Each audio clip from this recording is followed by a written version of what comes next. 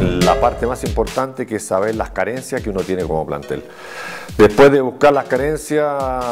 y tener distintos nombres para las distintas funciones que se necesita en el equipo, hay que ir a la parte personal. Yo creo que la parte personal es muy importante, no solamente el rendimiento, sino que también saber un comportamiento como jugador profesional,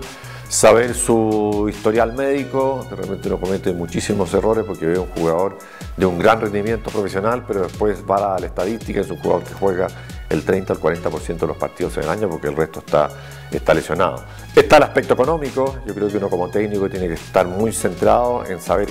qué jugadores puedo llevar de, acuerdo al equipo en que estoy. Y la segunda parte también que hay que buscar en refuerzo es tener un espectro amplio de distintos jugadores jóvenes que están apareciendo, que vienen de las divisiones menores o de jugadores jóvenes que están en otro club, que se pueden quizás eh, comprar antes de tiempo. Villarreal yo creo en eso es un ejemplo, en saber jugar, comprar jugadores como Pepe Reina, que lo vendió en 20 veces el valor que lo compró, como digo Forlán, como muchos otros jugadores que ha sido un club ejemplo en ese, en ese sentido. Entonces, todas esas áreas en base a lo que le puede dar al jugador en el presente, en base a lo que puede ser el jugador en el futuro, más por supuesto toda la personalidad del jugador, son las consideraciones más importantes que uno tiene que tener en determinados clubes de acuerdo al presupuesto que uno pueda gastar.